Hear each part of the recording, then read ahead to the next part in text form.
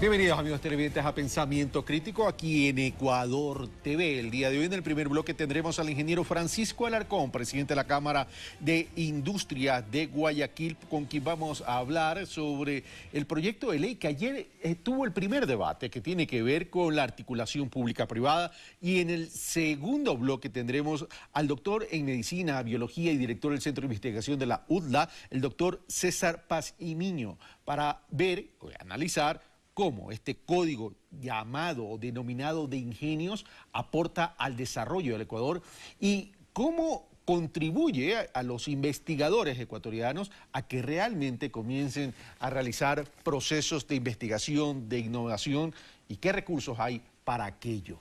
Le damos la bienvenida y comenzamos con Francisco Alarcón, que ya se encuentra en los estudios de la ciudad de Guayaquil. Francisco Alarcón, muy buenos días y gracias por haber aceptado nuestra invitación. Y hago la primera pregunta. Ayer fue el primer debate de la articulación pública-privada, pero más allá que se haya realizado el primer debate este proyecto de ley eh, que lo lideró Natalicelli, que hoy ya no está en el gobierno, eh, tiene eh, el contenido adecuado, suficiente para incentivar al sector privado a que se enganche en esta dinámica de desarrollo económico y social del país, un tema que el sector privado lo ha estado reclamando, que el gobierno ha dicho, bueno, vamos a dar vía a este tema, pero hay líneas sensibles todavía que corregir y si es así, ¿cuáles serían estas? Eh, Carlos, muy buenos días. Un placer siempre estar eh, con usted y con los, eh, los que ven Ecuador TV. ¿no? bueno, la ley de alianza pública-privada es una buena señal y es una buena semilla. Algún colega lo describió así y creo que es la manera más, más, fácil de graficarlo. Es una buena semilla, pero la buena semilla necesita de agua, necesita de sol, necesita de cuidado, necesita de algunos ingredientes muy importantes para que sea efectiva y para que germine y florezca y se la pueda cosechar. Eh, lo más importante para que haya eh, inversión es un buen clima de negocios, es que baje la confrontación, es que haya un buen ambiente. Clima de negocios tiene la palabra clima, ¿no? Que, que eh, yo creo que todos lo entendemos. Tiene que haber un buen ambiente. No se crea inversión y no se crea confianza por decreto, ¿no? La inversión fluye cuando hay reglas claras, reglas estables. Yendo directamente a su pregunta, Carlos, nosotros creemos que es clave en la ley que exista el arbitraje internacional. Es decir, una solución de controversias que le dé al inversionista la tranquilidad de que cuando hay una disputa con el Estado, que va a ser su socio, esa disputa sea eh, solucionada en cortes eh, internacionales o en centros de arbitraje internacionales e imparciales. Ayer escuchaba al señor presidente de la República decir que más bien esa posibilidad que sí contemplaba la ley APP y la contemplaba de una manera débil realmente, eh, parecería que la, quisieran eliminar para llevarlo a un arbitraje regional, ¿no? Entonces, eh, es, eso, eso lo consideramos clave y como, y como puede ver, no le estoy hablando de un beneficio económico que se necesita eh, adicional, sino una seguridad en solución de controversias. Creemos que el arbitraje internacional es clave para que esta semilla germine y de frutos, no, no, no es algo que, eh, digamos, todos queremos lo mismo, todos queremos que haya desarrollo, todos queremos que haya inversión. Nosotros eh, lo único que hacemos es dar nuestras sugerencias para que esto tenga el mayor éxito eh, posible. También es muy importante, en segundo lugar, le dijera, atrás de lo que le acabo de decir, es muy importante que haya una presencia del sector privado en el comité interinstitucional. Y por algo que le escuché en alguna declaración al señor presidente, creo que le han informado mal cuál es el pedido que ha hecho el sector privado en cuanto a formar parte del comité, eh, y es que nosotros no, no pretendemos estar ahí con voto, eh, tal vez sería bueno, pero no es lo que hemos planteado, sino tener voz. Y el tener voz, el ser escuchado, el tener una presencia, el poder retroalimentar a las personas o a las instituciones que tienen voto, pues yo no veo cómo puede eh, perjudicar, porque tenemos una visión del sector privado que creemos que puede aportar también a la mejor toma de decisiones. Vamos por parte, entonces, Francisco. Voy al primer punto en cuanto al tema del clima y la metáfora de los recursos naturales para crear ese buen ambiente. En ese sentido, comienzo por el tema del arbitraje. Pero un arbitraje regional termina siendo también un arbitraje internacional. En ese sentido, ¿cuál sería entonces la objeción que se tendría o la diferenciación que hace Francisco Alarcón, representante del sector productivo y presidente de la Cámara de Industria de Guayaquil, entre lo que sería un arbitraje internacional y lo que sería un arbitraje regional. Bueno, eh, tenemos exactamente la misma duda. ¿Por qué? si son algo parecido el arbitraje internacional y regional, se lo quiere dirigir para acá. Se está pensando en, una solución de controversias dentro de la UNASUR. Eso crearía un nivel de confianza. ¿O por qué no se puede tener una solución de controversia en la Cámara de Comercio Internacional, por ejemplo? Es decir, eh, parecería que se quiere tener, o el Estado quisiera tener más cercanía o más influencia en las eh, instituciones de solución de controversia. Entonces, si da lo mismo, ¿por qué se elimina la posibilidad del arbitraje internacional? Consideramos que ese punto es clave para que salga adelante la ley. Replanteo, la, eh, la pregunta, Francisco. introducir... Replanteo la pregunta para tener más precisiones. ¿Ustedes estarían de acuerdo que se establezca un sistema de arbitraje a través de UNASUR? Eh, Mire, no es cuestión de estar de acuerdo o desacuerdo, es cuestión de pensar dónde se maximizan las posibilidades de que haya confianza e inversión. Eh, la decisión la toma el Estado y la toma el gobierno y, la mayoría de asambleístas que tiene. Nosotros creemos que se, se, elevan, se potencian tremendamente las posibilidades de inversión y de confianza si es que no se limita a arbitraje regional, eh, peor todavía hacia UNASUR, las posibilidades de sistemas de solución de controversia. Lo único que queremos es que se maximicen las posibilidades de inversión. No estamos ni en contra ni a favor, damos nuestras sugerencias de cómo creemos que este importante proyecto, esta importante señal, ciertamente no la solución para todos los males, pero esta importante señal eh, florezca. Y creemos que la mejor manera eh, es, sobre todo, dándole al inversionista una señal muy clara de que las controversias pueden ser solucionadas eh, de manera absolutamente imparcial y lo más lejos posible del alcance de la influencia de las dos partes, ¿no? del sector privado y del Estado ecuatoriano. dentro del internacional puede caer el regional pero el regional sí limita las posibilidades de internacional. Ya, ahora, este proyecto de ley de APP, articulación pública-privada, fundamentalmente está apuntando a inversiones en infraestructura y desarrollo urbano, como dijo en su momento la ex ministra Natalie Celi, o también apoya y apuntala al sector industrial ecuatoriano, que es para mí fundamental para el desarrollo del país, casualmente para ese cambio de matriz productiva de que tanto se ha venido hablando en el país.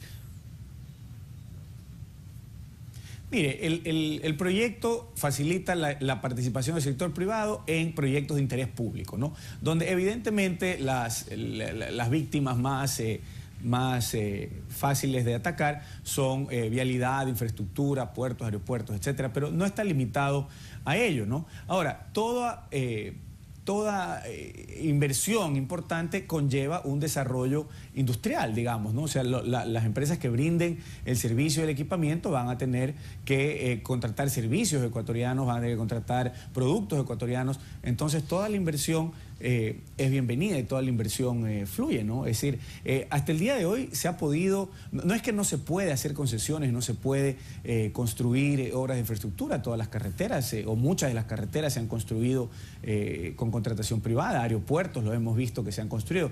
No, no es que era indispensable esto para que fluya la inversión, sin embargo se introducen una serie de beneficios que ciertamente sí son eh, bastante atractivos, ¿no? donde se entendería se quiere atraer eh, volúmenes de inversión eh, más interesantes y para obras de infraestructura mejores. Además, es muy sensato que no se, no se piense que el Estado es el que tiene que hacer todas las obras, sino que puede participar el sector privado. ¿no? Entonces, es una buena señal de cualquier manera que se haga, pero creemos que es muy importante eh, maximizar las posibilidades de que esto se dé, no en beneficio del sector privado, sino en beneficio del país y que se den las obras. Pero dentro de esta ley, Carlos, hay, una, hay un tema al que no me puedo dejar de referir, y que es que al final de la ley eh, se, se introduce una disposición general, única, la única disposición general de toda la ley, que trata de un tema en una línea y media que nada tiene que ver con este importante proyecto de ley que estamos hablando, sino que pretende resucitar un derogado impuesto dedicado a la ciudad de Guayaquil el famoso impuesto del 2 por mil para la construcción del hospital universitario, que después cambió de nombre para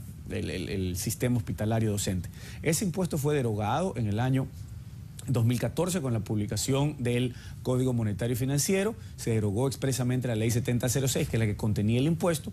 Nosotros hemos, eh, hemos, hablado de eso últimamente y sorpresivamente en esta ley que pretende fomentar las alianzas público-privadas y la confianza y el clima de negocios, se eh, ratifica en esta disposición general la vigencia de la codificación, la codificación no es una ley, la codificación no crea impuestos, la codificación del sistema hospitalario docente, eh, tratando de resucitar un impuesto derogado. Entonces es muy importante que esa disposición general salga, porque no vemos si es que alguien piensa que ese impuesto sigue vigente, no hay necesidad de ratificarlo en una ley que nada tiene que ver con eso. Entonces para eso ratifiquemos en esta ley todos los impuestos existentes en el país, no, no, no se entiende. Y eso es algo que afecta la competitividad de las empresas de la ciudad de Guayaquil.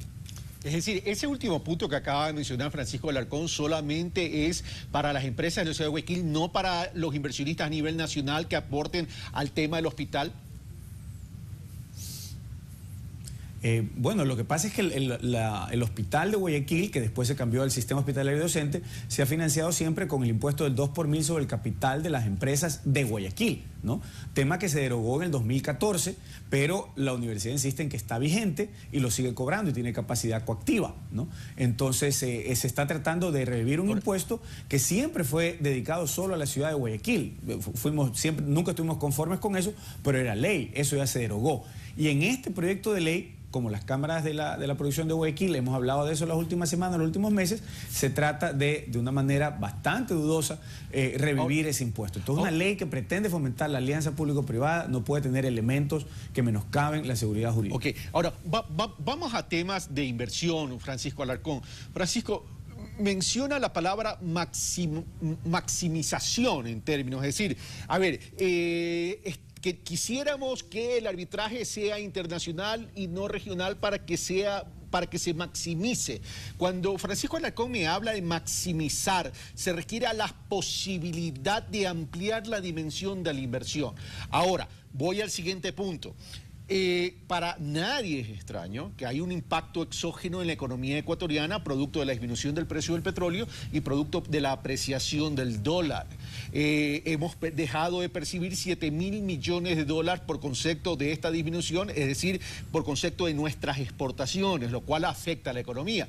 Pero una dinámica de desarrollo, la inversión pública es importante, pero para mí mucho más fundamental en términos de sostenibilidad en el tiempo es la privada. La inversión pública para garantizar un Estado y lo social y la inversión privada para generar empleo, desarrollo, etcétera, etcétera.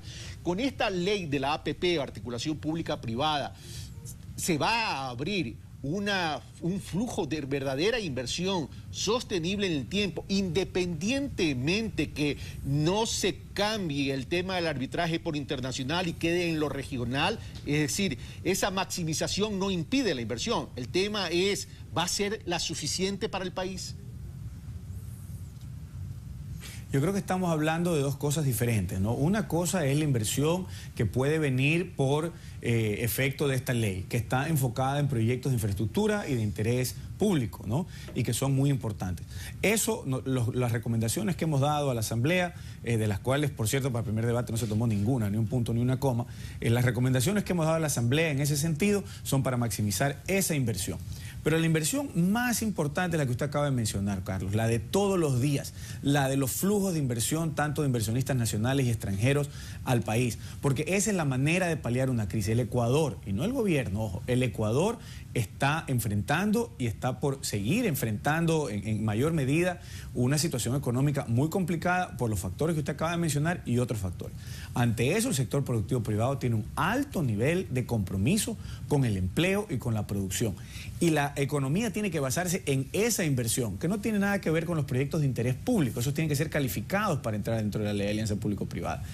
Este es el ambiente del que nosotros venimos hablando hace tiempo. Las, las 37 propuestas que hicimos en Carondelet en marzo 2, de las cuales se han cumplido pues muy pocas, eh, hay muchas cosas por hacer para que esta inversión fluya. Y lo más importante es para que esta inversión, de la que vamos a vivir, de la que se va a generar el empleo que el país tanto necesita, que tanto adolece, viene de un buen clima de negocios, de cambios que los hemos mencionado eh, personalmente eh, con el gobierno en este tipo de reuniones, que pasan por lo laboral, pasan por lo tributario, pasan por lo reglamentario pero lo más importante son aguas calmas. La palabra pausa normativa parece que últimamente ha causado alguna incomodidad, pero la inversión va donde se siente tranquila, donde se siente segura, donde, donde no cambian las cosas todos los días. Eso es lo más importante para que la inversión vaya. Si las cosas cambian todos los días, que el Estado está en su derecho de cambiarlas todos los días, sencillamente, para seguir con los términos pasados, se va a minimizar la inversión que puede venir versus lo que necesitamos todos, que es que se maximice. Gracias, Francisco. Ya tendremos oportunidad de seguir analizando y conversando sobre el horizonte que tiene el Ecuador en términos de inversión en el sector privado. Muchas gracias.